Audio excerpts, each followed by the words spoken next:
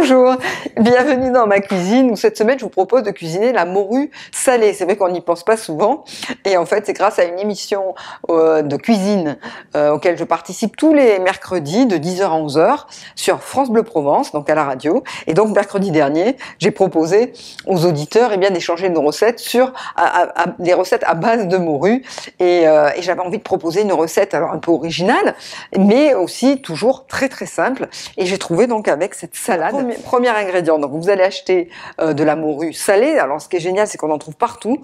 Donc vous voyez que la morue salée, donc évidemment, elle est toute ratatinée. Et une fois que vous l'avez faite dessaler 24 heures à peu près dans un grand volume d'eau, hein, dans une passoire, et puis vous changez l'eau de temps en temps, vous voyez comme la morue va eh bien, euh, se réhydrater. Donc on va gagner en volume, hein, en densité de poisson. On va faire une salade uniquement, mais c'est très simple, avec de la betterave crue qu'on va râper comme ça, du persil, et pour un aioli, c'est-à-dire une mayonnaise euh, avec de l'ail. Donc pour ça, euh, tout simplement, je vais mettre un jaune d'œuf, de la moutarde, de l'ail, sel, poivre et de l'huile. Alors huile d'olive mélangée avec un petit peu d'huile de colza ou de tournesol. Alors c'est parti.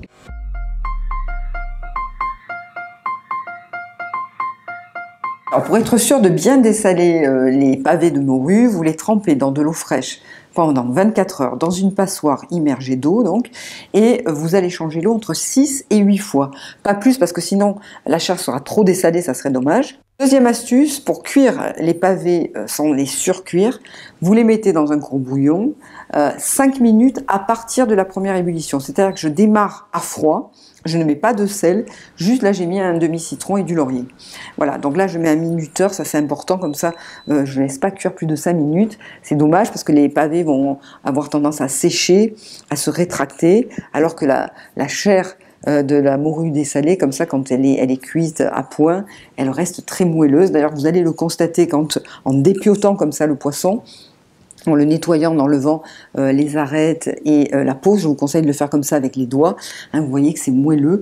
Et, et, là, vous allez avoir une belle base de morue dessalée, cuite à point pour faire plein de recettes, dont celle que je vous propose aujourd'hui avec un aioli. Voilà, alors maintenant on va préparer l'aioli. Donc là, j'ai mis un jaune d'œuf une cuillère à soupe rase de moutarde, trois gousses d'ail, un jus de citron, vous pouvez mettre aussi du, un petit peu de vinaigre. Et puis là, je vais monter l'aioli comme ça, à la fourchette, en mélangeant toujours à la même vitesse. Ça va durer 2-3 minutes pour incorporer. Alors là, j'ai mis 10 centilitres d'huile d'olive et 10 de colza. J'aurais pu mettre aussi de l'huile de tournesol hein, pour, pour pas que ça soit trop fort en huile d'olive. Voilà, donc au bout de quelques minutes, quand la texture vous convient, ben voilà, vous allez pouvoir assaisonner le poisson. Alors là, euh, bien sûr, si vous utilisez la mayonnaise, mayonnaise industrielle, ça ne sera pas pareil. Hein, le rendu sera vraiment différent. Donc là, moi, je suis généreuse. Hein. J'ai mis 3 cuillères à soupe d'ail vous pouvez en mettre que 2, hein, selon votre goût.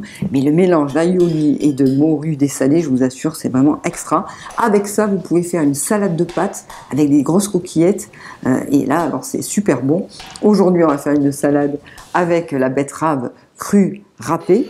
Donc la betterave crue, euh, vous allez d'abord l'assaisonner simplement avec un petit peu de vinaigre, euh, d'huile d'olive, beaucoup de poivre. Hein, le poivre et, le sucré de la betterave, ça va bien. Si vous avez du persil, vous mettez un peu de persil haché finement, vous mélangez et ensuite vous allez déposer la betterave comme ça assaisonnée au fond d'un plat. Alors là, j'ai pris un plat euh, un peu évasé comme ça, je trouve que c'est plus joli. Donc en fond, vous déposez la betterave râpée assaisonnée et par-dessus, en dôme comme ça, la morue dessalée à l'aioli pour obtenir vraiment une salade toute simple, euh, dont l'intérêt est vraiment de mélanger la fraîcheur sucrée de la betterave et la morue dessalée à l'aioli. Bon appétit